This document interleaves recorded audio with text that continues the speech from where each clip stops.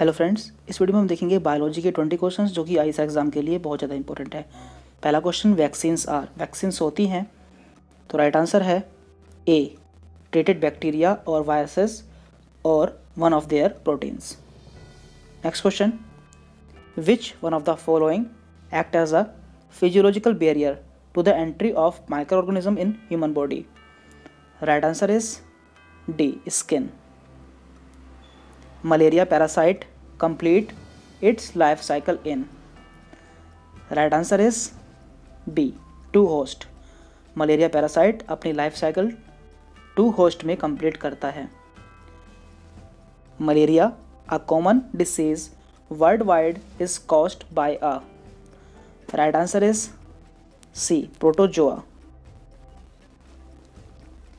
cancer is related to Right answer is A.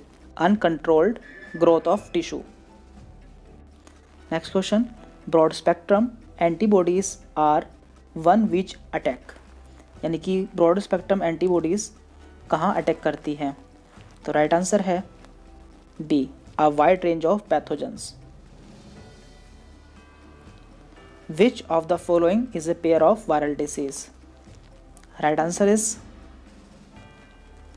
A common cold and AIDS ये दोनों viral disease हैं।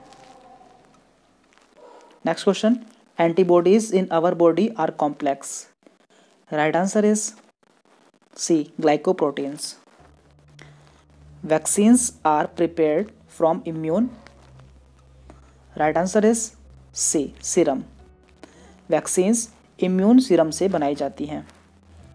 Malaria is separate by Right answer is D. Female anopheles. Which of the following disease is due to an allergic reaction? यानी कि इनमें से कौन सी disease एक एलर्जिक रिएक्शन से होती है तो राइट आंसर है C hay fever H I we infects H I we किसे इन्फेक्ट करता है राइट आंसर है बी टी हेल्पर सेल्स को cancerous cells can easily be destroyed by radiations due to. Right answer is A. Rapid cell divisions.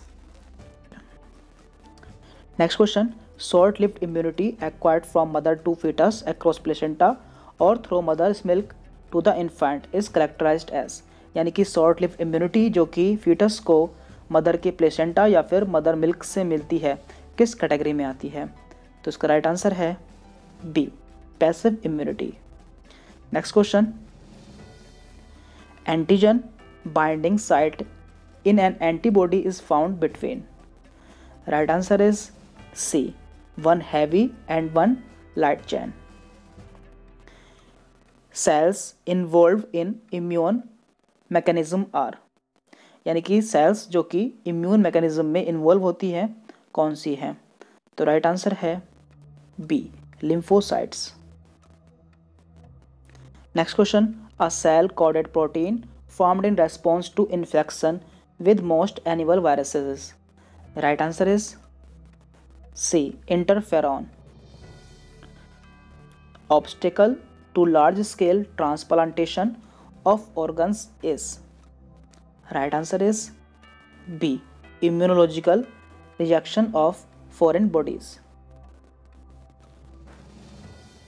Carcinoma refers to Right answer is B.